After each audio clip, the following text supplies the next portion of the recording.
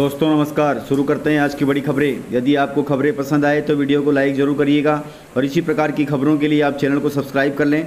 खबरें पूरी पाने के लिए वीडियो अंत तक ज़रूर देखिएगा और आप हमें प्रदेश के किस ज़िले से देख रहे हैं कमेंट बॉक्स में ज़रूर बताइएगा। मध्य प्रदेश में दसवीं और बारहवीं के छात्रों के लिए अच्छी खबर है। अप्रूवल के लिए भेजा गया है प्रस्ताव। इससे विद्यार्थियों को मिलेगा बड़ा लाभ। मध्य प्रदेश बोर्ड द्वारा कक्षा दसवीं और बारहवीं के छात्रों के लिए अंठावन नए सब्जेक्ट अब तैयार किए गए हैं। छात्र अब अंठावन नए विषयों की पढ़ाई करेंगे। फाइनल अप्रूवल के बाद पाठ चर्चा कमेटी के पास प्रपोजल भेज दिया गया है।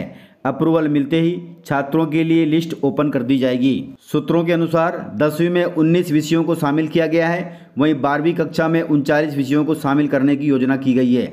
यह सब बदलाव नई शिक्षा नीति के तहत हो रहा है और एमपी बोर्ड लगातार शिक्षा में बदलाव भी कर रहा है। व्यवसायिक कोर्स के चलन के साथ ही पाठ चर्चा कमेटी को प्रपोजल भेज दिया गया है, जिसके अप्रूवल मिलने के बाद कक्षा दसवीं और बारहवीं में विषयों की संख्या बढ़ जाएगी और विद्यार्थी इन नए विषयों को पढ़ सकेंगे। मध्य प्रदेश विधानसभा का मानसून सत्र 25 जुलाई से आगे बढ़ाने की चर्चा हो रही है। मध्य प्रदेश के गृह मंत्री डॉक्टर नरोत्तम मिश्रा ने कहा कि मध्य प्रदेश विधानसभा का मानसून सत्र 25 जुलाई से आगे बढ़ाने के लिए राज्यपाल गंगूभाई पटेल से आग्रह करेंगे। गृह मंत्री ने ट्विटर पर आ रहे धार्मिक भावनाओं को भड़काने वाले और विवादित ट्वीट को लेकर कंपनी के सीईओ पराग अग्रवाल को एक पत्र भी लिखा है। उन्होंने कहा कि कुछ लोगों के द्वारा ट्विटर का उपयोग धार्मिक भावनाओं को हाथ करने और सामाजिक समरसता बिगाड़ने के लिए किया जा रहा है। इसलिए इस तरह की ट्वीट होने से पहले उनका परीक्षण किया जाए और उन्हें ट्विटर पर आने से रोका जाए या फिर ऐसे ट्वीट करने वालों का अकाउंट सील कर दिया जाए। यूनिवर्सिटी में हनुमान चालीसा पढ़ने वाले विद्यार्थियों पर नहीं लगेगा जुर्माना। इसके लिए कलेक्टरों को जाँच के निर्देश दिए गए हैं। प्रदेश की राजधानी भोपाल के नज़दीक सीहोर ज़िले में स्थित Vellore institute of technology university के छात्रावास में सामूहिक हनुमान चालीसा पाठ करने पर सात विद्यार्थियों से जुर्माना वसूलने का मामला सुर्खियों में आया है। इसके लिए राज्य शासन ने इसका संज्ञान भी लिया है। प्रदेश के गृह मंत्री डॉक्टर नरोत्तम मिश्रा ने इस मामले में सीओर कलेक्टर को जाँच के आदेश दिए हैं। गृह मंत्री ने कहा कि विद्यार्थियों पर कोई जुर्माना नहीं लगेगा।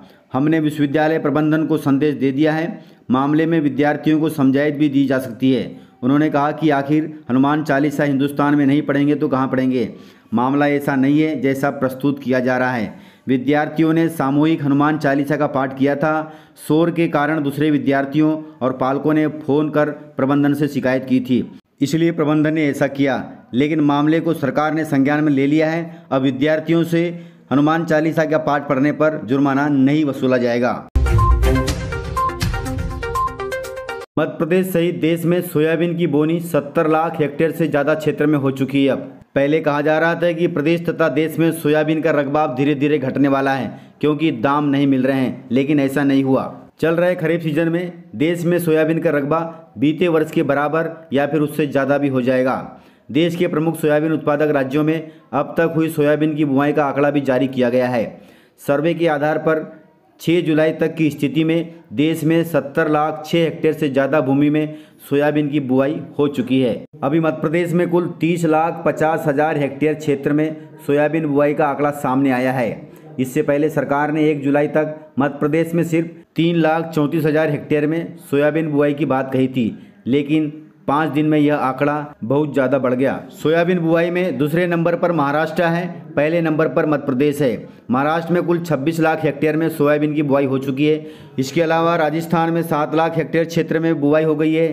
तेलंगाना में ढाई लाख से अधिक हेक्टेयर क्षेत्र में, कर्नाटक में भी दो लाख सैंतीस हज़ार हेक्टेयर क्षेत्र में, गुजरात में भी एक लाख हेक्टेयर क्षेत्र में सोयाबीन की बुआई हो गई है।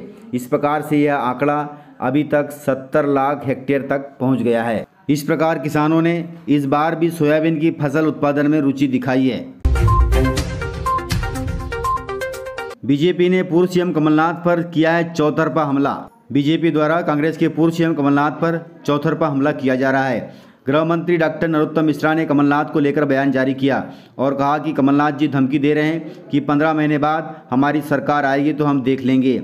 काहे के लिए आतंक फैला रहे हो, कमलनाथ जी? जनता से अपने काम के आधार पर वोट मांगो। कमलनाथ धमकी क्यों देते हैं? क्यों भय का माहौल फैला रहे हैं प्रदेश में? क्यों काल्पनिक बातें करते हैं? विधानसभा उपचुनाव हुए थे, तब भी उन्होंने कहा था कि अगली विधायकों की बैठक सीएम हाउस में होगी, लेकिन ऐसा कुछ नहीं हुआ। उन्होंने यह भी कहा था कि अगला पंद्रह अगस्त झंडा हम फहराएँगे। ऐसी बातों से उन पर लोगों का विश्वास उड़ गया है। पंद्रह महीने क्या अगले पंद्रह सालों में भी कमलनाथ जी की सरकार नहीं आएगी? इस प्रकार कमलनाथ जी पर बीजेपी द्वारा चौथरफा हमला किया जा रहा है। अब यह हमला कितना सच साबित होता है, यह आने वाले विधानसभा चुनाव में पता चलेगा। दूध में मिलावट को लेकर काला सच सामने आया है। वैज्ञानिक का दावा है कि दूध में मिलाया जा रहा है लाशों को सड़ने से बचाने वाला केमिकल। दूध में पानी और डिटर्जेंट मिलाना आम बात है। ये बात कम ही लोग जानते होंगे कि कई कारोबारी लाशों को सड़ने से बचाने वाला केमिकल भी दूध में मिलाते हैं। चौंकाने वाला यह खुलासा फ़ूड सेफ्टी की साइंटिस्ट वैदेही ने किया है। वैदेही जी ने बताया कि मारचूरी में लाशों को सड़ने से बचाने के लिए फार्मोलिन केमिकल लगाया जाता है। कारोबारी इसे दूध में भी मिलाते हैं। इससे दूध जल्दी नहीं फटता। लेकिन यह केमिकल सेहत के लिए इतना खतरनाक है कि कैंसर का ट्रिगर भी बन सकता है। इसलिए ध्यान रखिएगा, सतर्क रहिएगा। प्रदेश में गर्भवती महिलाएँ हो रही एनीमिया का शिकार। गाँव में 50 प्रतिशत गर्भवती महिलाओं को एनीमिया हो रहा है। इसके लिए स्वास्थ्य विभाग अब मॉनिटरिंग करेगा और हर महीने होगी जाँच। प्रदेश की राजधानी भोपाल से सटे ग्रामीण इलाकों की 50 प्रतिशत से ज़्यादा गर्भवती महिलाएँ एनीमिया की शिकार हुई हैं। यह खुलासा स्वास्थ्य विभाग की एक जाँच में हुआ है और यह हाल प्रदेश के राजधानी में नहीं, प्रदेश के अधिकांश जिलों में है। स्वास्थ्य विभाग की जाँच में यह खुलासा हुआ है। स्वास्थ्य विभाग ने कहा कि जाँच में जो आंकड़े आए हैं, वो बहुत ही चिंताजनक हैं। आपको मालूम होना चाहिए कि महिलाओं में हीमोग्लोबिन का सामान्य स्तर 12 से साढ़े पंद्रह ग्राम प्रति डेसीलीटर होना चाहिए। इसमें कम होने पर महिला को एनीमिया हो सकता है। हीमोग्लोबिन कम होने पर सिरदर्द, सीने में दर्द, थकान, कमज़ोरी महसूस होती है। इसका मतलब हुआ कि शरीर में खून की कमी हो रही है। इसलिए समय समय पर जाँच कराते रहें और डॉक्टरों से सलाह लेकर के उचित उपचार ज़रूर कराएँ। जापान के पूर्व प्रधानमंत्री सिंजो आबे का निधन हो चुका है। आप सभी जानते हैं, टीवी पे आपने देखा होगा। सिंजो आबे के निधन पर प्रधानमंत्री मोदी ने देश में एक दिन का राष्ट्रीय शोक का ऐलान किया है। राष्ट्रीय शोक के दौरान शनिवार के दिन सभी सरकारी इमारतों पर राष्ट्रीय ध्वज झुके रहेंगे। प्रधानमंत्री मोदी ने एक ट्वीट जारी कर कहा कि पूर्व प्रधानमंत्री आबे सिंजो के प्रति हमारे गहरे सम्मान के प्रतीक के रूप में 9 जुलाई 2022 को एक दिन का राष्ट्रीय शोक मनाया जाएगा। प्रधानमंत्री मोदी ने कहा कि मैं अपने सबसे प्यारे दोस्तों में से एक सिंजो आबे के दुखद निधन पर स्तब्ध हूँ और दुखी हूँ। वह एक महान वैश्विक राजनेता थे, एक उत्कृष्ट नेता थे और एक उल्लेखनीय प्रशासक भी थे। उन्होंने जापान और दुनिया को एक बेहतर जगह बनाने के लिए अपना पूरा जीवन समर्पित कर दिया। हम सभी जानते हैं कि जापान से हमारी अच्छी दोस्ती है। जापान वैश्विक टेक्नोलॉजी से पूरा भरा पड़ा है। ज़्यादातर मशीनें भारत में जापान से आती है। इसलिए उनके निधन पर प्रधानमंत्री मोदी ने देश में एक दिन का राष्ट्रीय शोक घोषित किया है। प्रदेश के लाखों पेंशनरों के लिए राहत भरी खबर। है राज्य शासन ने लिया है पेंशनरों के लिए बड़ा फैसला। इसके तहत दिव्यांग, कल्याणी, अविवाहित, पेंशन स्वीकृत करने के अधिकार अब ग्राम पंचायतों के पास नहीं रहेंगे। अब ग्राम पंचायत प्रस्ताव तैयार कर जनपद पंचायत को भेजेगी और फिर सीईओ जनपद पंचायत द्वारा पेंशन प्रकरणों को मंजूर किया जाएगा। प्रदेश में ज़रूरतमंदों को कई प्रकार की पेंशन दी जाती है। वर्ष 2017 में इन पेंशनरों को पेंशन देने के लिए ग्राम पंचायतों के पास अधिकार दिए गए थे। लेकिन गड़बड़ी और देरी की शिकायत मिलने के बाद अब राज्य शासन ने पंचायतों से यह अधिकार छीन लिए हैं। अब लाखों पेंशनधारियों को पेंशन जनपद में मिलेगी। इंदौर ज़िले के महू में एक किसान की बेटी बनी एयरफोर्स में फ्लाइंग अफसर। यह खबर बेटियों के लिए बहुत ही प्रेरणादायक होगी। इंदौर ज़िले की महू तहसील की गौली पलासिया गाँव की एक बेटी भारतीय वायुसेना में पहुँची है। पिछले दिनों अंजलि केलोत्रा का चयन फ्लाइंग ऑफिसर के पद पर हुआ है। मऊ क्षेत्र में कई महिलाएँ सशस्त्र सेनाओं में कार्यरत हैं, लेकिन ग्रामीण इलाके से यह पहली बार हुआ है, जब एक महिला एयरफोर्स में पहुँची है और उनका चयन मेट्रोलॉजी डिपार्टमेंट में हुआ है।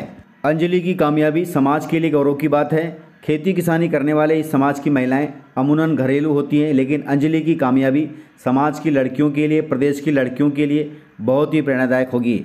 समाज के लोगों ने अंजलि के इस चयन को अकेली एक बेटी की नहीं, बल्कि पूरे समाज की, पूरे प्रदेश की कामयाबी बताया है। तो इस प्रकार से जानकारियाँ थी। यदि आपको जानकारियाँ पसंद आई हो तो वीडियो को लाइक ज़रूर करिएगा। और यदि आपने वीडियो पूरा देखा है तो उसके लिए बहुत बहुत धन्यवाद। तो मिलते हैं, सर, अगले वीडियो के साथ। तब तक के लिए जय हिंद।